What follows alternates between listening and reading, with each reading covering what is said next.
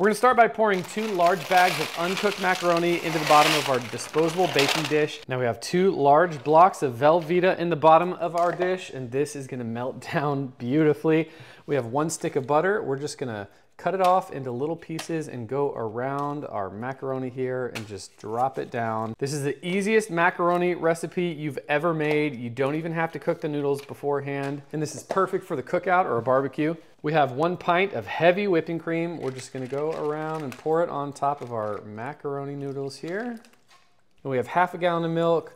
We wanna make sure these noodles are completely submerged with that milk and cream and we used almost the entire half gallon. We got a little bit left over. Now you can season this with your favorite barbecue rub. I'm using this Honey Hog from Meat Church.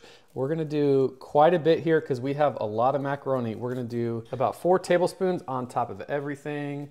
And you guys, that looks wonderful. We have some freshly shredded sharp cheddar cheese here. We're gonna go on top. And we're just gonna cover everything here. And then we're in Texas, so we've gotta use a pepper jack on top of that. This is a nice spicy pepper jack cheese and it's gonna be so delicious. Now we're gonna cover with foil and we're gonna throw this in the smoker. Our smoker is preheated to 275. We're gonna throw our mac and cheese on here. We're gonna cook this for at least two hours, come back and stir it up. It's been a little over two hours and our mac and cheese is ready to stir. We're just gonna take the foil off, take our spoon, and go ahead and start mixing all this up. You wanna make sure all that Velveeta gets mixed in. We have a big neighborhood cookout tonight and everybody wanted to bring my famous smoked mac and cheese. So here it is. And we're gonna add a special topping to this. We have two cups of Cheez-Its that we have ground up in a bag. We're just gonna take little handfuls and just spread these over the top here. We are gonna make a delicious crunchy topping for this. Grab a little cooking spray and we're just gonna spray the top of this. And then we're gonna add some more of that barbecue rub and just sprinkle that over the top.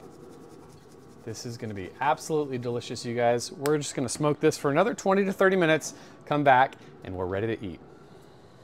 All right, after 25 more minutes in the smoker, our smoked mac and cheese with the seasoned Cheez-It crust is completely done. Let me scoop right out of the center so you can see how cheesy this mac and cheese is. You guys, look at that. We're gonna serve it in our little cast iron bowl here. This is the perfect dish for any cookout. Let's try a bite. That is so good. You gotta try this.